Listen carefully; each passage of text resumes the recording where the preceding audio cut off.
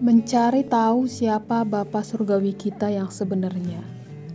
Dalam Alkitab Tuhan dinyatakan dengan banyak nama sebutan. Saya percaya bahwa nama-nama itu ada untuk membantu kita mengerti dengan lebih baik banyak aspek yang berbeda dari karakter Tuhan. Nama-nama itu membantu kita untuk mengenali siapa Dia sebenarnya. Kita tidak dapat masuk ke dalam kehidupan yang Tuhan sediakan bagi kita tanpa pengetahuan ini. Ada beberapa daftar yang akan saya sebutkan yang membantu kita mengingatkan kita pada aspek-aspek tentang kodrat Tuhan yang mungkin telah kita lupakan atau abaikan atau mungkin belum kita ketahui. Tuhan telah menyatakan dirinya dengan cara ini karena ia ingin kita mengenal dan mempercayainya dengan segenap cara yang mungkin. Dalam memahaminya menurut nama-nama ini dan menyebutnya dengan nama-nama ini, kita mengundangnya untuk menjadi seperti nama-nama tersebut bagi kita. Daftar singkat nama-nama dan sifat-sifat Tuhan ini sebagai doa singkat untuk kita ucapkan. Ini adalah cara bagi kita untuk mengakui Tuhan sebagai banyak aspek dari siapa Dia sebenarnya dan membantu kita untuk mengenalnya dengan lebih baik. Bapa Surgawi, Engkaulah penyegarku. Engkau menyegarkan semua yang sudah diambil, dihancurkan, dilahap, atau hilang dari hidupku.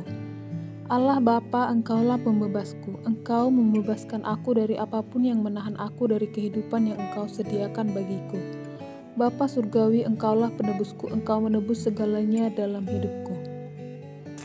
Allah Bapa, Engkaulah kekuatanku. Saat aku merasa paling lemah, saat itulah Engkau paling kuat di dalamku. Bapa Surgawi, Engkaulah penuntunku. Aku mengakui Engkau dalam segala lakuku dengan menyadari bahwa Engkau meluruskan jalanku. Allah Bapa, Engkaulah penasehatku. Engkau mengajarkan aku semua hal yang benar untuk dilakukan. Bapa Surgawi, Engkaulah damai sejahteraku. Ketika hidupku hanya memberikan sedikit kedamaian, aku masih dapat menemukan damai sejahtera di dalam Engkau. Allah Bapa, Engkaulah Immanuelku, Tuhan besertaku. Engkau selalu dekat dan tidak pernah jauh. Aku bersyukur karena Engkau tidak pernah meninggalkan dan melantarkanku.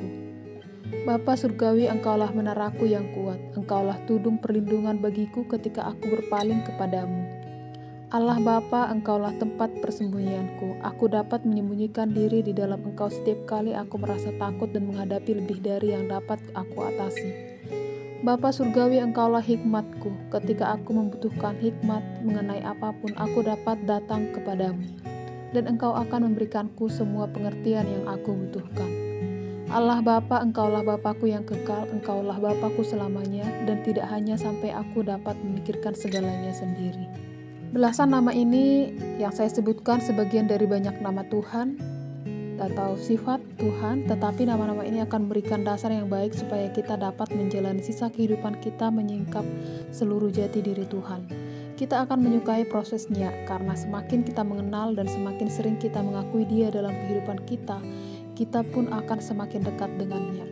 Tuhan adalah Bapa surgawi kita yang akan menuntun, melindungi, dan menasihati kita. Ia akan membebaskan, memulihkan, dan menebus kita. Ia akan memberikan kita kekuatan, damai sejahtera, dan hikmat. Ia akan selalu bersama dengan kita agar kita dapat berlari kepadanya setiap kali kita membutuhkan tempat persembunyian.